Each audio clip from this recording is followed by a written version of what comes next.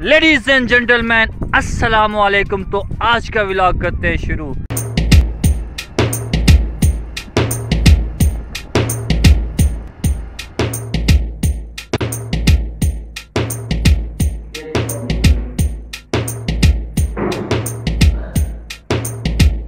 तो यार, अल्हम्दुलिल्लाह, हम खैर आफियत से ऑफ़िस पहुँच आए तो मैंने थोड़ा बहुत काम किया, जो काम करना था अभी टाइम एक दो बज चुके हैं तो मैंने अभी जाना है बाज़ार।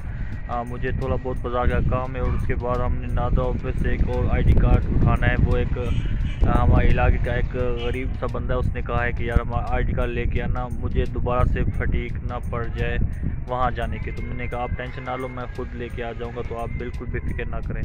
तो फिर मैं अभी पहले जाऊँगा, अपना थोड़ा थोड़ा बहुत काम करूँ, उसके बाद मैंने उसका आईडी कार्ड पिक करना है। तो चलिए चलते हैं बिना कोई टाइम वेस्ट के।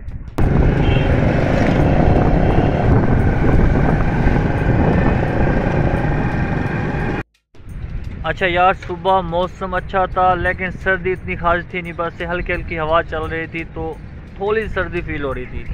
तो फिर मैंने सोचा कि क्यों मैं कपड़ा क्यों लेके जाऊँ? मैंने कोई सर, जर्सी नहीं ली, ना ही कोई कपड़ा लिया, ना ही कोई वास्केट कुछ भी नहीं लिया। मैंने कहा, सर्दी तो है नहीं वैसे।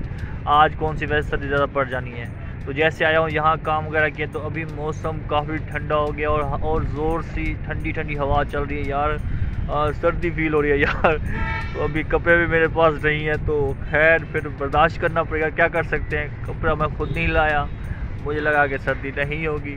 तो अब क्या कर सकते? खैर अभी चलते हैं नादर की तरफ़। वहाँ से जाके हमने आईडी कार्ड पिक करना है। हमारे इलाके के एक दोस्त का है तो उसका आईडी कार्ड पिक करते हैं। शायद आज घर चला जाऊँ नहीं तो फिर कल तो लाल में जाऊँगा घर ही। तो इसलिए मैं सोच रहा था आज पिक कर लूँ। तो क्या पता आज ही चला जाऊँ घर।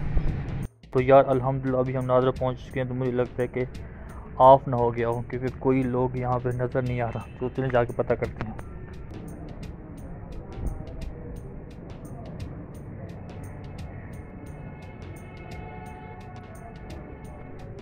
अस्सलाम वालेकुम सर सर कैसे हैं? तो यार अल्हम्दुलिल्लाह हमें आईडी कार्ड मिल चुका है। आ, उन्होंने भी एक मंथ पहले ही बनवाया था नॉर्मल बनवाया था तो और कल या परसों उसकी डेट में एक मंथ हो चुका था तो आज फिर मैं आया हूँ। मुझे लगा कि शायद ना आया हो तो एक मंथ हो चुका है तो वैसे एक मंथ बाद आईडी कार्ड आ जाते हैं तो अल्हम्दुलिल्लाह आईडी कार्ड उनका मिल चुका है तो मैं जाके उनको दे दूँगा। चलिए चलते हैं। Algo bir olsun. Algo bir हाय हाय हाय। वाह वाह वाह मज़ेदार है यार। हम सरेके की मिसाल है कि मूली को आपने सुबह को खाना है, दिन को नहीं खाना और ना ही रात खाना है। नहीं तो ये मूली आपका पेट ख़राब कर देगी।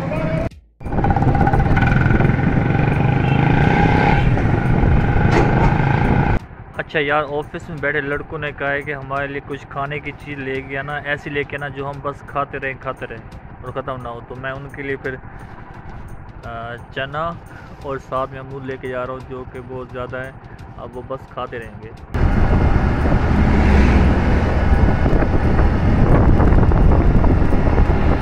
तो यार सीन कुछ इस तरह से है कि अभी मैं ऑफ़िस से घर की तरफ़ जा रहा हूँ। कज़न ने किया है कॉल उसने कहा है कि आप आज घर आओ, क्योंकि रात उसको छोड़ने जाना है भावलपुर। वो जा रहा है लाहौर। तो भावलपुर से गाड़ी मिलेगी। हाँ इधर से हमारी सिटी से मिल जाती है, पता नहीं उसने कहा क्या है। मैंने भावलपुर से जाना है, उधर से गाड़ी मिल जाती है। या उसका कोई और भी काम हो सकता है तो मुझे कहा कि आप घर लाजमी आना। तो फिर मैं अभी जा रहा हूँ घर की तरफ़। तो अभी मगरब का टाइम भी हो चुका है। बल्कि मगरब होने लगी हैं। वैसे मोस्टली जब मैं घर जाता हूँ तो मगरब मुझे दरिया के करीब पड़ती है। लेकिन आज मगरब मुझे इधर शहर में ही पड़ गया तो खैर, अभी निकलते अपना सफ़र शुरू करते जल्दी जल्दी से। और वैसे ठंड भी काफ़ी ज़्यादा है यहाँ। तो खैर, देखते हैं क्या सीन बन सकता है।